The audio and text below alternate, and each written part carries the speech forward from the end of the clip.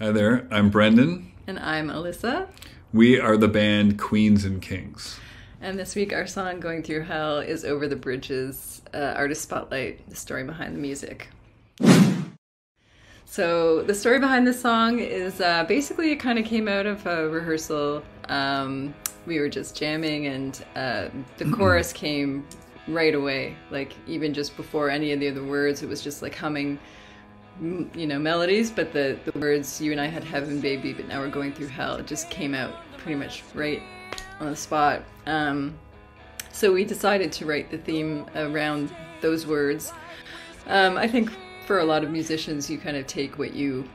what you know or a lot of writers of any capacity take what you know and kind of write about that. So there's definitely something of us in that song and uh, kind of our struggles um, you know and kind of you know everything we've gone through for the last 12 years, even though we've been a band since like 2017, we've known each other for quite a bit longer.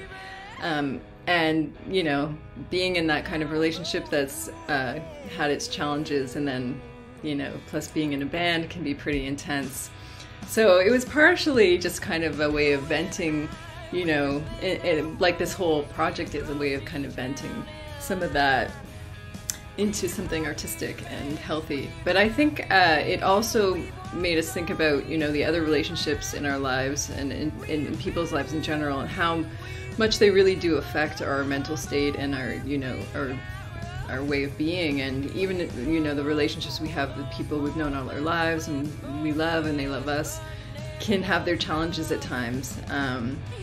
and it's just about finding ways to you know openly communicate with those people finding ways to make things, you know, make those dynamics be, uh, you know, as healthy for you as they can be, or, you know, alternatively, sometimes finding out, realizing that there are relationships in your life that just aren't working and you have to either change them or kind of find a way to divorce yourself from them. So, um, and I think the reason we, you know, we didn't initially think that we were going to be, it wasn't our initial plan to release this song when we did as our third single, but um, during the pandemic, it just kind of seemed very timely because it, the song I think took on a whole new meaning. It kind of uh, all of a sudden the whole world was kind of going through a global trauma uh, together that everyone can kind of relate to and we were well aware of this kind of interconnectedness of how everyone's actions affects everyone else kind of on a global scale um, and there's just like such you know you know, um, unity, but also such divisiveness at the same time. Um, so you know, it just seemed like, and plus, you know, we, people were so isolated from one another that our relationships, whether we were like living with people, and then you're kind of like with those people a lot more than you might intensifies completely. intensifies those relationships hundred percent um, or even just like being able to communicate. You know, luckily now we have this technology that allows us to communicate with people so much more easily than we could have once upon a time that allows us to still feel that connection with people you know even internationally like i met a lot of people um, through, through music conferences and panels and stuff internationally through this time so yeah i think i think the main message of this song is just basically like um, finding ways of like making your relationship with others and your relationship with yourself, you know,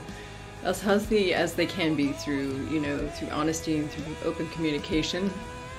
and finding ways to change things when they're not working. So we hope you enjoyed uh, our little story behind the music and thanks to Over the Bridge for having us. Thank you very much and peace out.